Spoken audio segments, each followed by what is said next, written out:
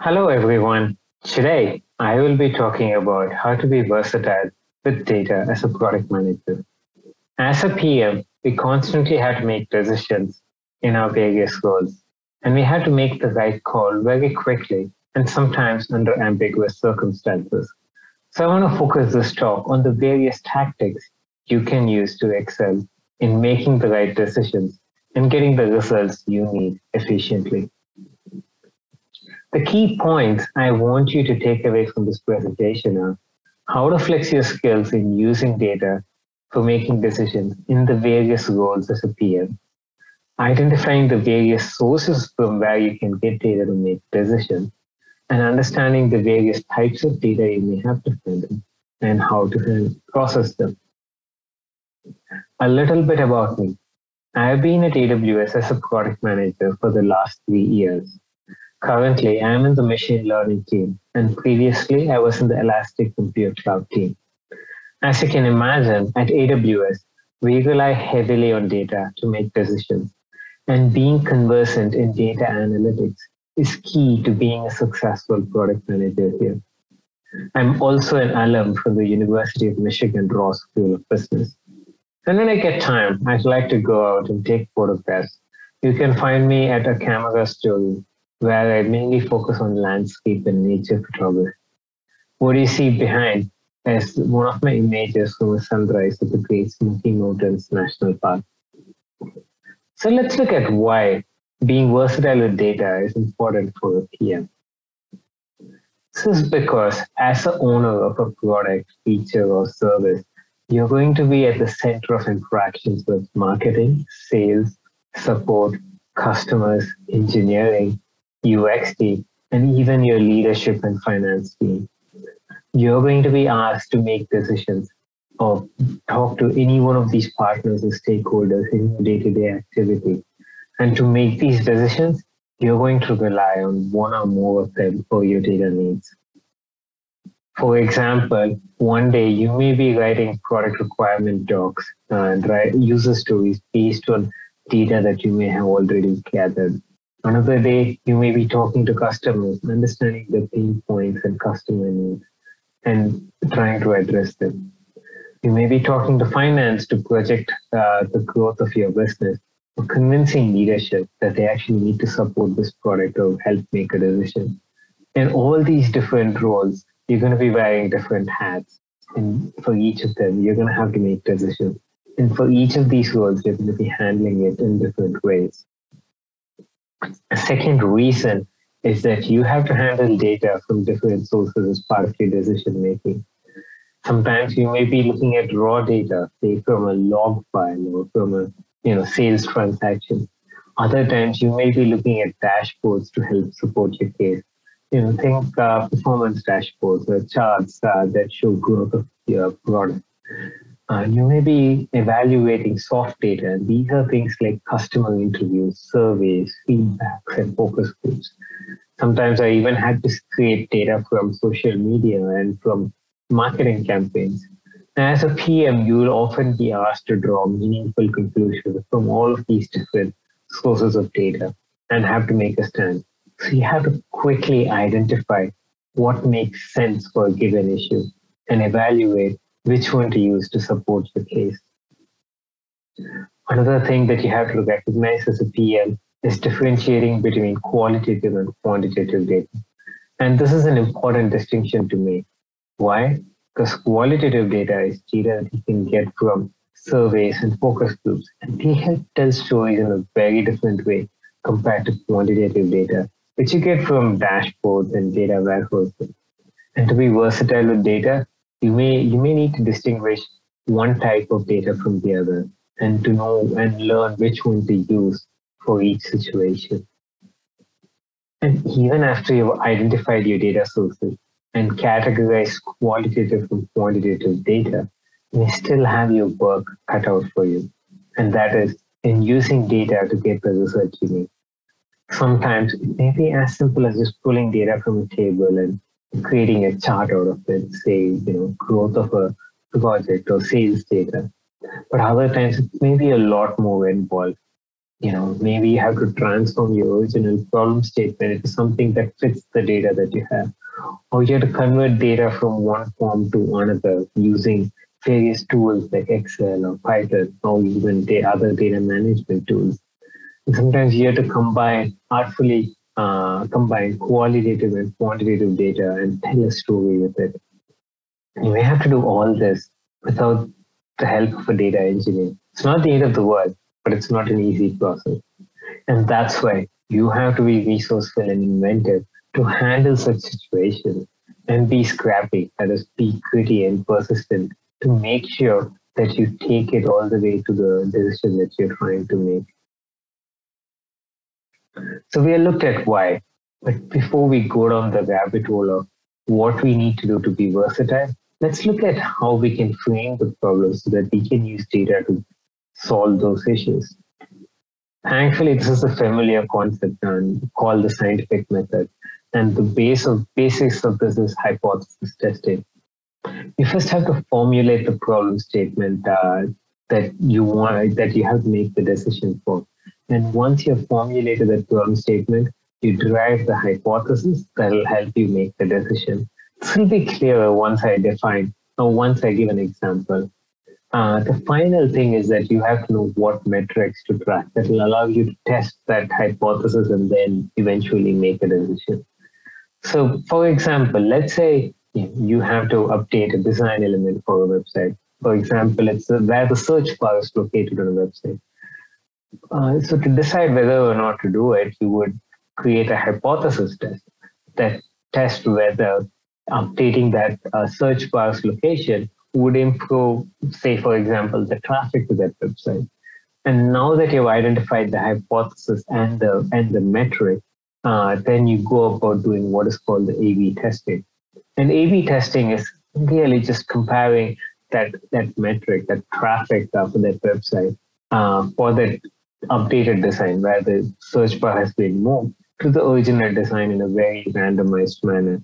So it means that some customers, some users of that website are going to be shown the original design, whereas others are going to be shown the new design.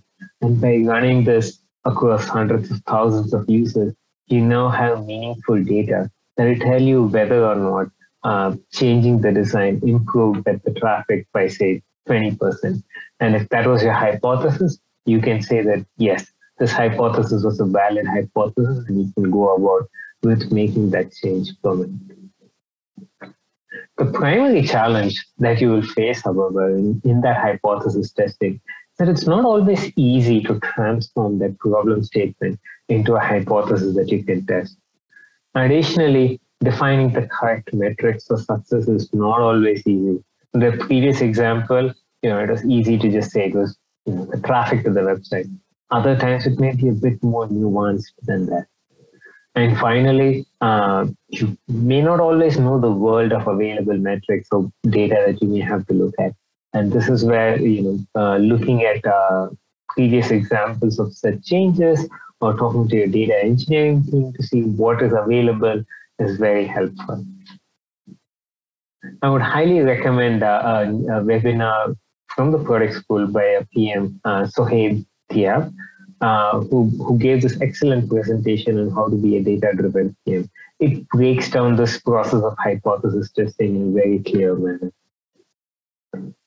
Now let's look at an example of data gathering uh, that uh, I uh, that I did as a PM. I was working on, on a marketing campaign uh, for a new product that I had launched, and we wanted to do an email campaign to help grow the product. Now, typically, these kind of campaigns are run in a bulk operation where you know, thousands of customers are emailed uh, uh, information about this new product, and and then uh, we have analytics teams to gauge uh, how effective that campaign was and what the success rate was. For this campaign, we faced an issue. We really couldn't do uh, email customers in bulk. This was because we had a very limited budget for running the campaign. Secondly, our customers were very sensitive to such campaigns. These are enterprise customers, and if the email wasn't relevant to their use case, it's likely that they might unsubscribe, um, as we all do when we get irrelevant email. The problem is this could impact future campaigns for products that are relevant to their use case. So the hypothesis is formulated to address this was that running a targeted campaign improves the efficacy of the campaign by a specific amount, and that is better than the cost incurred in creating this targeted campaign. The metrics that we track were the usual ones for gauging effectiveness of email campaigns, such as click-through rate conversion rate. But in addition, I also wanted to track the growth and usage of this product by the targeted customer. So the way this testing was uh, accomplished was first we identified select group of customers by using uh, data uh, about existing uh, products uh, and, and figuring figuring out like who these customers would be. So once we ta- identified the customers, we ran a targeted email campaign to them. The control was a set of random customer accounts who were not using the similar product. After this was done, the marketing analytics team measured the email campaign metrics, and these were, you know, click-through rates and conversion rate.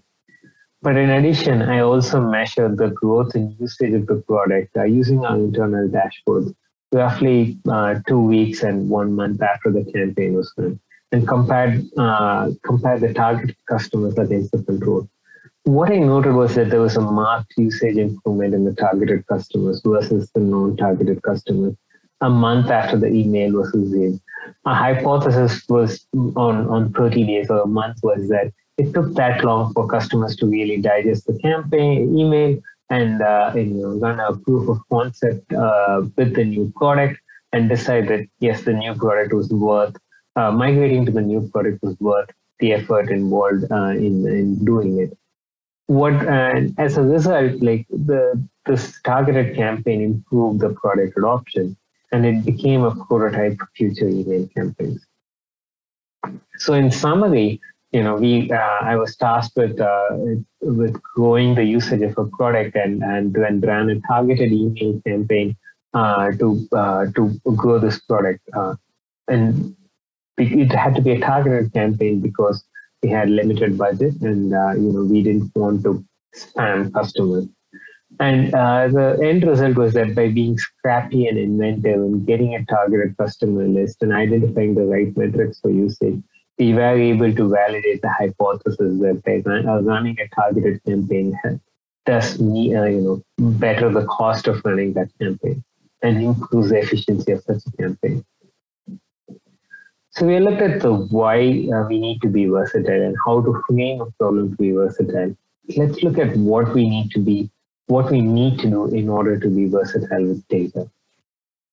If I start by revisiting an earlier slide that we did on distinguishing qualitative from quantitative data, we recognized earlier that this is an important distinction to make.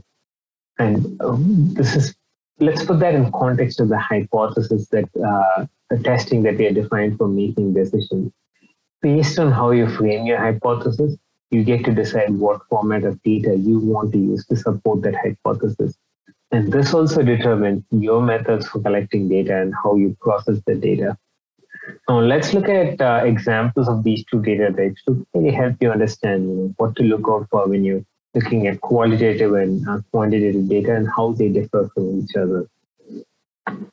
So qualitative data sources are really you know, descriptive and conceptual data collected through sources such as questionnaires, interviews, observations, and focus groups. They're needed when you want to tell a story from that from uh, from these uh, responses and customer insights. And because they're fewer in number, they usually point in time because they're collected, you know, during a focus group. You're not going to repeat a focus group every day. And additionally, because of that, the number of data points are likely to be fewer as well, especially when you compare it with quantitative data sources. I mean, how many times are you going to run uh, customer interviews? They're pretty taxing. The primary advantage of qualitative data is that insights really jump at you from these conversations. You may have to do some work in interpreting them, but uh, the challenge is that, or the flip side is that it is much harder to avoid bias in gathering the data you have to make sure that you know you're not anchored one way or the other in, in gathering data you know uh, and and as apart from you know focus groups and interviews, the other uh, key source of qualitative data are industry reports and market reports because they aggregate quantitative data into useful snippets and and this can really help tell a story or support your analysis. Uh, typically, your employer or your university is likely to have subscriptions to sources such as IBISWorld, which has some excellent market analysis reports. Let's look at quantitative data. Quantitative data should really be used when you're trying to quantify a problem based on data, or when your hypothesis uh, requires you to measure changes in a numeric scale. Right away, this distinction is, you know, you can easily distinguish this from qualitative data. Um, and while this data can be point in time, it's more often than not. It is more often than not, it is not. It's continuous in time. And um, if you properly define your thresholds and constraints for collecting the data, you can make sure that you're avoiding bias or anchoring any of you know any any sort of quantitative data. Of course, uh, because of the volume of data that you get uh, in this, the primary disadvantage is that you have to do some sort of processing or filtering to make sure you you get the right insight from the data to help support or oppose your hypothesis. And this is especially important when you source data sets are huge. This can happen, you know, if you're processing raw data from a bunch of uh, you know, IoT devices, or you're looking at audio files for for particular uh, you know particular products, say an Echo device. And you'll be lucky. You'll be lucky if you get access to dashboards that succinctly present that data. But more often than not, you have to do some analysis yourself. Notice that the one thing I didn't mention were customer surveys and feedback. And this is because this data source can be both qualitative and quantitative. It can be point in time or continuous because it all depends on how you formulate your questions and gather responses. Typically, if the responses are long form, you know, question and answer, it's going to be qualitative data. And again, uh, you're not going to get a whole lot of responses uh, in, in long form. On the other hand, if your responses are multiple choice or so um, uh, sim- simple options, you know, things like a rating for a restaurant, then uh, you're going to be collecting data from probably hundreds and thousands of users, and this becomes quantitative data. And um, based on how you process or handle it, you can also deal with bias in, in these situations. So let's look at an example of dealing with uh, how, uh, dealing with both multiple data sources to help address an issue. One of the products I was faced with uh, when uh, tasked with I was working in EC2 was to design a compute server for running a very specific workload. And this may seem arcane, but it's really as similar to like designing a specs for a laptop, which was for intended uh, primarily for gaming or video editing. It's just that in this case, the workloads and the customers are different. So the hypothesis I formulated was that a very specific design configuration is optimal for this workload. The challenge in testing that hypothesis was that design configuration isn't an exact science. There's nothing in literature says that you have to have uh, four CPUs and 8 GB of memory, for example, to run this workload. And I had to rely on way too many data sources to eventually come to a conclusion. So in, in, formula, in formulating the product requirements doc, I actually had to look at multiple sources. The key amongst which was uh, talking to uh, customers. So I interviewed multiple customers and ran focus groups, and these gave me qualitative input on uh, what it is to uh, what customers are looking for for running this workload. It was few, but very valuable. I also talked to workload experts, workload experts for this particular workload, and and they gave me even more precise input on what is needed. They didn't have the customer view, but you know, from a technical point of view, they helped me understand what was required. But I also wanted to validate these against uh, data that I collect in a non-biased manner. And so I looked at dashboards and usage metrics for similar workloads that I run internal to the company. I also looked at log files to see performance of, of this workloads on similar platforms. And using all of this together, I was able to create a product requirements document and and then uh, justify the the, the specific configuration I was proposing uh, to leadership. So now we have looked at how you need to rely on different sources of uh, data uh, to make decisions. And let's also look at why we need to be resourceful with handling data. This is because data is never in the format you need. Sometimes it's a large table or an Excel file. Other times it's just raw data. You know, I, I mentioned the IoT use case or it may be audio file. And if it is in these raw data formats, you need to transform it to the one that you need um, maybe a report or a dashboard or a chart. This is not intuitive all the time. And this is mainly because data sources can be pretty diverse, uh, especially raw data. And, and then there's no one single way to transform it into the format that you need. And if you, if you think of uh, audio files, the data is very different from sales transaction data. And you may need to combine all of this in order to make your case. This is probably where uh, the help of a uh, business intelligence or data engineering team can help. What if you don't have such a team? What do you do? So let's look at a few uh, tricks or tactics that can help you address those gaps. Uh, in you know, a typical medium or large enterprise, you're likely to have data in a data warehouse, and, and that means that you can, you know, it's in a database, and you can write what is called SQL queries to extract the data that you need from it and then present it in a neat form. Uh, problem is, you know, SQL is just going to give you a simple uh, table and you, you know, it's not in a presentable form.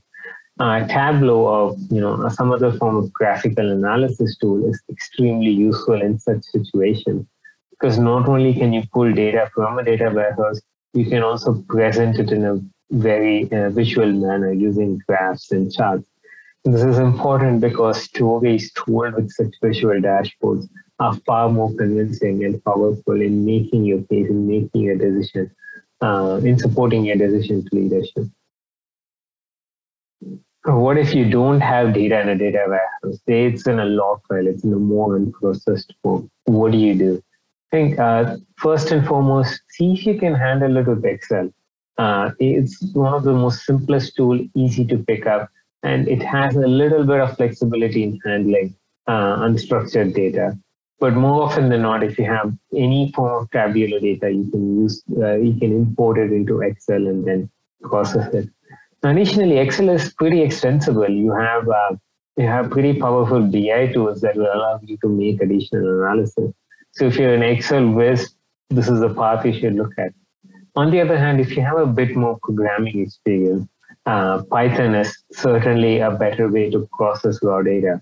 And this is because even though, you know, it, it, even though there's a steep learning curve, once you pick it up, it has uh, a lot of power in how you can how you can process data. It is very versatile and it, it builds upon uh, libraries and other uh, analysis that have been done by other other people, other experts. You can also use tools like R but really, unless you're a data scientist, probably not. It's an overkill for what you would need to do. So one thing to note is that all of these four tactics are repeatable. And that is key because more often than not, you will be asked to redo analysis that led to the original decision. And, um, and you may need to do it multiple times. Now let's look at an example of how uh, what we learned applies one of the tasks I was worked with was uh, one of the tasks I was working on was tracking the availability of specific products across different regions. And the goal was to uh, provide a roadmap uh, to our leadership on what to do next, where to expand the product next. Now, typically, uh, in this case, I would have just looked at the dashboard maintained by our BI team. However, for this time, uh, there wasn't a dashboard. There wasn't even a data warehouse where I could pull this data reliably from. There was no hypothesis in this particular case. It was just a data gathering exercise, but we had to do it in a very quick and repeatable manner. So what I did was uh, did a bit of scripting with Python check whether uh, you know product uh, is launching in uh, every single instance in every single region, and by, and then using the result from that Python script, I imported it into Excel to present it in a more human friendly manner, you know, in a more graphical manner. And the key requirement was that it was repeatable because we had to do this every single week and present it to leadership. And so what the key takeaway for, for this is that, you know, you don't need to know every skill, but it's important to be resourceful in gathering the data and, you know, be very quick in processing the data uh, so that you, you're not stuck up on any specific aspect. And so, you know, the, the key takeaways from that exercise were how to be resourceful and you know inventive with processing data and so that you're not hung up on very specific pathways or specific points you know ask for help if needed and make and be persistent in following through the to the result there were times when i was beginning that exam with that exercise i didn't even know what that end result was. Uh, but by pursuing it through the end and making sure that i had a repeatable result to be presented uh, it, it was a successful venture. So we now reached the end of the presentation. Uh, we have now learned how to be a successful uh, data-driven PM by being versatile with data. For this, the key take, uh, things to note are you need to know what your end goal are and what is the decision or hypothesis you're trying to make. Second thing is you have to be you have to learn to be flexible with where you get your data from and how resourceful and inventive you are in handling it. And finally, you make sure that the process you do for making these decisions is repeatable because you'll never know when you're asked to do it again. Thank you.